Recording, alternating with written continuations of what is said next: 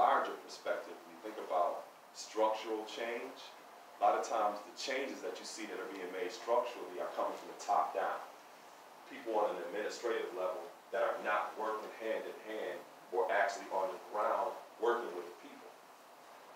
So from my experience, there has to be an involvement from the grassroots. People who are on the ground, who have the actual experience, where they can inform and educate those who are in an administrative position that are oftentimes decision makers, but they don't know what the hell is going on. Right? So there has to be that level of engagement. You know, I've been to poverty conferences where I look up on the panel and there's not one poor person up there. And I'm like, what is y'all talking about? You know what I'm saying? Or you have people discussing stuff that needs to happen with the youth and you look around and everybody's over 60. You know, have the people involved that, that you're saying that you're striving to serve. That's important too, you know? But, um, you know, that's, that's number one. You have to do a needs assessment to find out where you can meet people and what, what is necessary. And at the same time, you have to have involvement from various different elements. Because everybody brings something and some perspective to the table. A lot of times, when you see decisions being made, it's like everybody's not represented. What, you know, represented. What do you expect is going to happen? And sometimes that's done deliberately too. Right?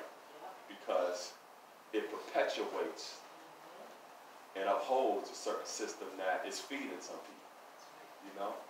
I happen to have like auto mechanics that if I have an issue with my car, I could bring it to them and they'll throw my hood up and show me exactly what they're doing. Be like, hey, this is what's going on. You know, this is what you need to get. Um, you can get it at this cost here, but this is a better place to get that part at. I have people that have that kind of relationship with me, but a lot of times you are amongst people that would say, just give me the keys and drop it off. You need an oil change. By the time you get back, you're like,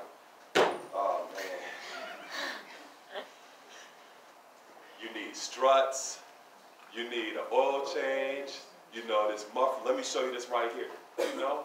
I mean, that's, that's a capitalistic mentality, you know, you feed off of the poor, and some people have that type of mindset, and, and being invested in equity is something that will affect their bottom line, and they're not gonna be with it. I remember one time I was watching a Democratic National Convention, and there was this one political pundit up there talking all proudly about how much money was going into healthcare, and how they were building this medical facility here, and how they were providing these services here, and how they're doing this and doing that. I'm sitting there listening to it, and I'm like, so there's more people sick than there's ever been before, right? That's what you're saying, right?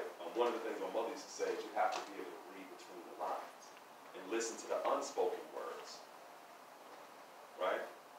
So a lot of times, being an advocate for social change and social justice, um, doing a needs assessment, you also need to know who's who in the zoo. The zoo, right? Same thing when you become employed and you go into a work environment. You need to know who's who.